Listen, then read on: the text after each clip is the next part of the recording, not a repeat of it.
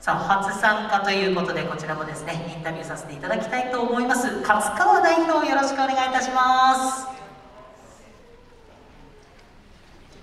さあ宝生ランプさんですけどチームは何年目のチームになるんですか？えっとチームとしては16年目になります。16年目のチームということで多賀城市で踊るの初めて？こちらの会場で踊るのは本当今日初めてですね。はい、やっと出れました。いやありがとうございます。来ていただきまして嬉しいです。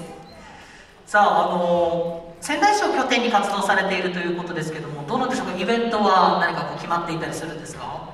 ええーと、今次のイベントっていうのは特に今のところは決まってはいないんですけども、えー、まあ、何かしらのイベントがあれば積極的に、まあ、県内、はい、県外問わず参加していきたいと思います。はい、分かりました今回踊っていただきます「自然一線」という楽曲ですがどんな楽曲でしょうか、はい、えっ、ー、と力強くあのこう鳳凰が舞うというのをイメージしてるんですけども、はい。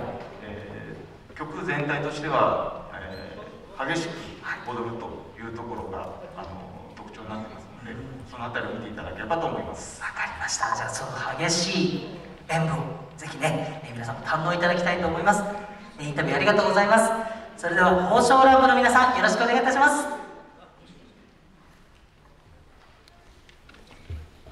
よろしくお願いします。